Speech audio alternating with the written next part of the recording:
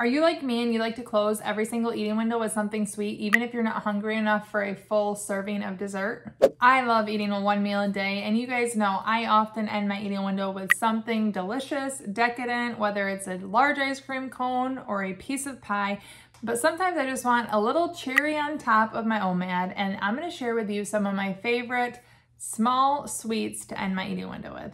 Right off the bat, we're gonna go Olive Garden. Andes mints are only 25 calories each. I like that they're individually wrapped and it's super simple to just pop this in your mouth. And then not only do you get the sweet and the creamy of the chocolate, but you kind of have like a minty aftertaste, which to me is a great signifier of end of eating window.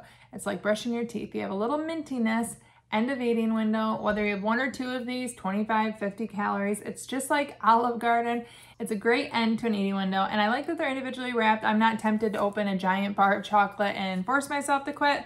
You have a little individually wrapped treat just there for you.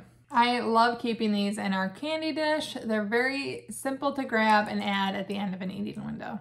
This one you guys have probably seen more than any other, the gummy bear. This single packet has 45 calories. It's grab and go. Once I open it, I can eat the entire thing, throw the package out, and then I don't worry about how much stopping, limiting myself. And you guys know on a normal basis, I don't actually count calories or really think about it. I try very much to be satisfied, but not overly stuffed and enjoy what I'm eating.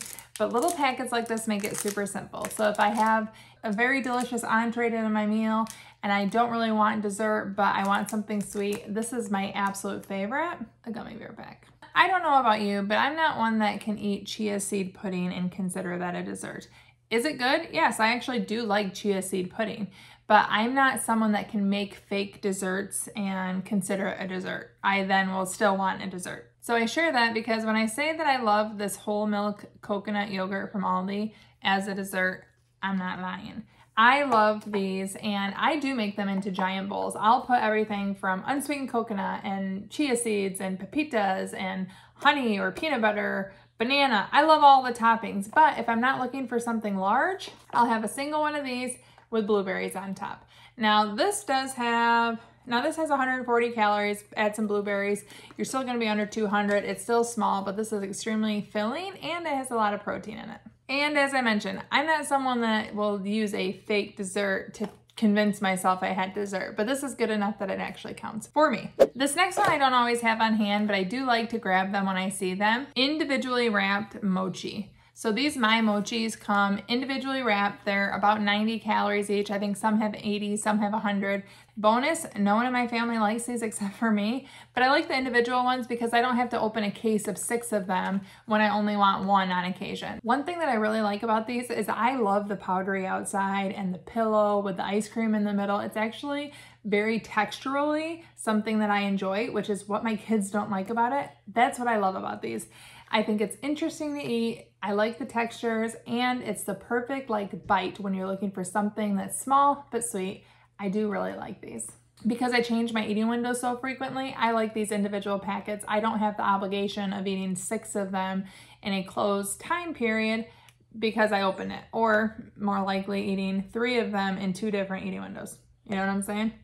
Individual is easy and the way to go. Now this next one, you're probably gonna send me some hate for, but I don't care because you know what? I'm sharing with you what I really like. First, a diet can of pop. I do really like root beer or Diet Dr. Pepper. And then a shot of vodka or rum. I like them both.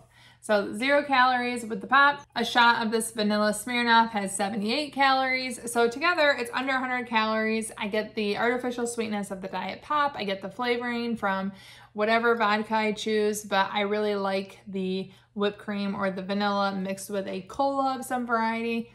I also really like, there's a sliced apple rum. A shot of that is 100 calories mixed with a diet beverage together. It's sweet, I like that it's a great window closer for me, a nightcap of sorts. And honestly, it's not something I do all the time, but I do enjoy it when I do.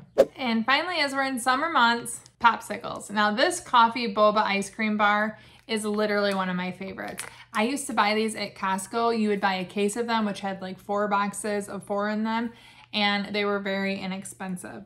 My Costco doesn't carry them anymore. If yours does, you're lucky but these have 160 calories. It's not super low cal, but it's not the same as eating a Crumbl cookie. However, it's extremely satisfying. I love the coffee flavors, the creaminess. I love the boba in here. It actually has a really pleasant texture, even in popsicle form. Another bonus, this is another thing that my kids don't eat so I don't have to share them. I can keep a box of four of these in my freezer and I just have access to them when I want them. Again, I change up my eating window so frequently. I don't do any of these on a regular basis, but they're nice to have on hand. I bought this at our local Asian market called Pacific Rim. They sell them there. They're a couple dollars a piece, but they're really nice to have on hand. Now, do you need this one? No, you can buy regular popsicles, you can buy creamsicles. There are so many different ice cream bars. However, this is just my personal favorite. I wouldn't gravitate towards a fruity popsicle, but this is something I would grab for to get that sweetness to close my eating window. I wanna know what is your favorite small sweet treat to add to the end of an eating window when you don't quite have room for dessert, but you want something sweet. Let me know in the comments. I'd love new ideas. And if you wanna know why I don't fret about if my treat is small or if I do have that large Crumbl cookie and my very simple approach to OMAD intermittent fasting, you can check out this video right here. It talks all about eating one meal a day, allowing myself to have everything from appetizer, entree to dessert, whatever is satisfying in that day. You can see all the details and get more information right here. Thank you so much for watching. Ciao, and ciao.